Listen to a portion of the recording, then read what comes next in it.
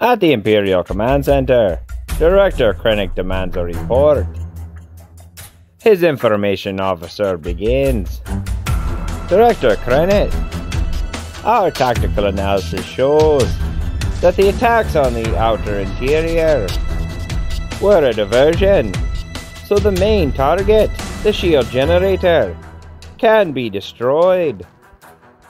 A rebel fleet exited hyperspace moments after the shield generator was destroyed, and is currently locked in combat with our space defenses. Fighters have been spotted entering our atmosphere, no doubt coming to give air support to their ground troops.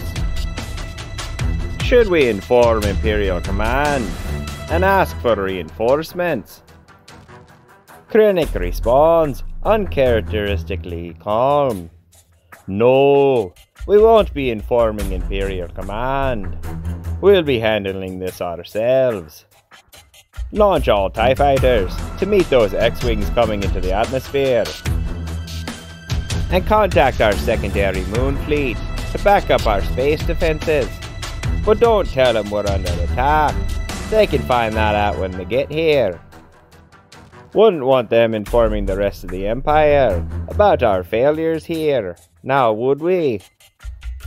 Just then, another Imperial officer stands up and interrupts Director Krennic. Sir, I'm sorry to interrupt, but you told me if anything was weird going on with Galen Erso to inform you. And I figured that Urso being in his lab and at the shield generator at the same time qualified as weird. Krennic whispers to himself, I knew it, and then turns to his second in command. I'm going to pay a visit to Galen Erso to get to the bottom of how this happened. I'll be taking two death troopers with me. The rest deploy at the base of this compound. Those terrorists can't be allowed to find out what we're doing here and at no point are you to contact the rest of the Empire. Is that understood? With unease in his voice, the commander says, Yes, sir.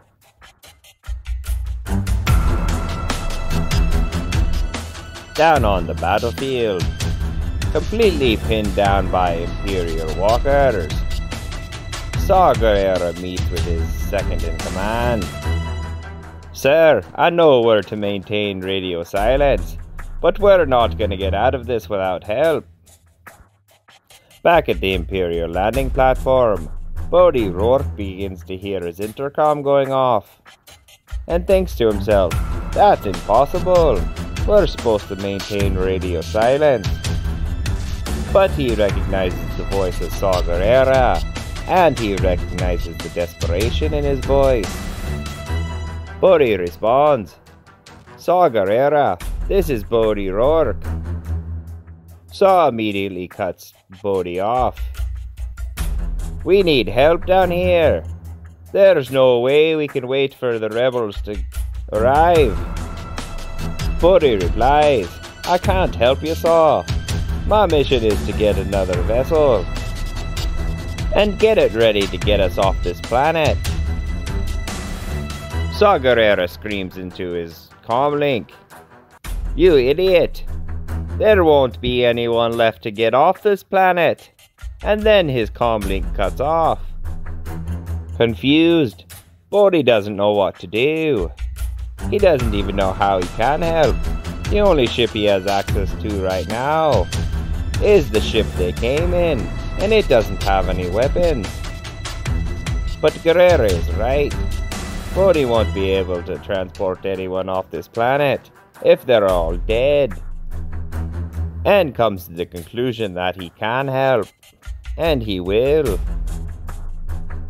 Through the barrage of cannon fire, the rebel soldiers see a lone ship headed in their direction. Saw Gerrera gets on the comlink. Bodhi Rook, is that you? That's the cargo ship we came in. That thing doesn't have any weapons. Bodhi replies, Don't worry, Saw. I've got a plan.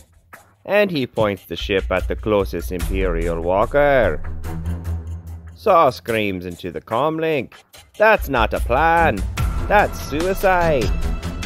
We wanted your help, not for you to kill yourself. Bodhi says, Don't worry, Saw. I'm not planning on dying today. Bodhi sets the autopilot and then sprints to the back of the ship and jumps out. The cargo ship rams into the neck of the AT-AT, causing it to veer to the right and smash into the AT-AT next to it. And as the rebels cheer, all three vehicles burst into flames. Bodhi's excitement that his plan worked better than expected soon turns to terror as he realizes his parachute won't open. Bodhi accepts his fate, only to be shocked when his fall starts to slow, and he is lowered to the ground. Dazed and confused, Bodhi decides he'll try to figure out this mystery later. He's got to get back to his original mission of finding a ride off this planet. Down on the beach, Chirrut laughs. That wasn't me who made that boy fly, Baze. Are you breaking your own rules? Baze replies, If we're gonna die here anyway, what's the point in hiding anymore? Excited, Chirrut says, I've been waiting for you to say that. And as he launches himself into the battalion of stormtroopers running at them, on both ends of Chirrut's staff, ignite two lightsaber blades. For the first time in decades, Chirrut allows the Force to flow through him without limitation. And for the first time in decades, Chirrut feels free as he cuts his way through stormtrooper after stormtrooper. Through the battle, Chirrut yells to Baze, I bet you regret throwing away your lightsaber now. And Baze replies, The only thing I regret is hiding for all those years. We should have done something like this a long time ago. Chirrut says, No, my friend. The Force brought us here for a reason. And this is the exact moment that we were meant to reveal ourselves. Back at the Imperial Command Center, the operations officer yells out, Commander, there are Jedi on the battlefield. With fear and shock in his voice, the commander asks, Are you certain? The operations officer replies, Well, sir, there's a man on the battlefield with a lightsaber. And he's moving things with his mind. I thought those were two big clues that there's a Jedi on the battlefield.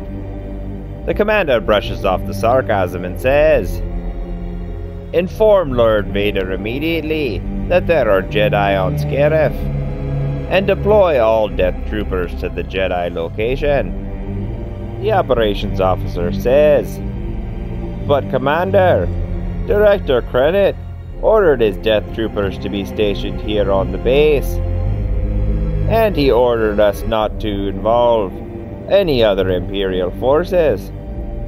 The commander replies, Well, Darth Vader has an outstanding order regarding Jedi. And I don't know about you, but I'd rather disappoint Director Krennic than Darth Vader.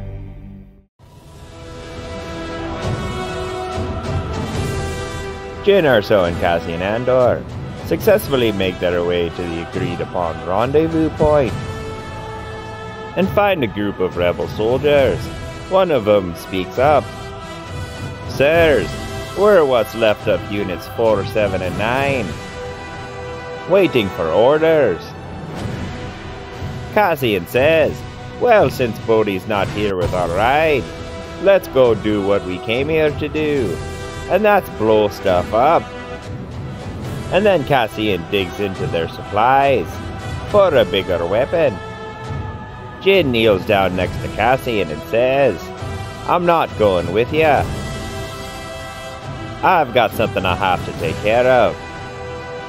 You take care of yourself, Cassian, and may the Force be with you. Cassian yells out, So you're just gonna abandon us, like you abandoned those soldiers on Corellia. Jyn looks over her shoulder and says, I hope one day you look into what happened on Corellia. And that day you'll learn about the people you work for, and how little you mean to them. And then Jyn turns and walks off towards the command center.